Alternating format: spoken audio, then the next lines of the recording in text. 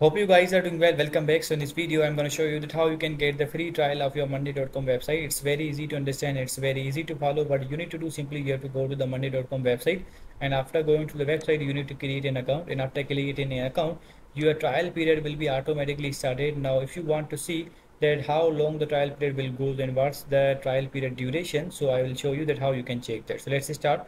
So after creating an account, your trial period will be started. So what we need to do simply, we have to click on the see plans option. So after clicking on the see plans option, as you can see, you'll be able to see thank you choosing for monday.com. You have 14 days left on your free trial. So as you can see now the trial period is 15 days and the 14 days are left in the ending my trial period. So in this way you can get the trial period and in this way you can track your trial period duration on the monday.com website.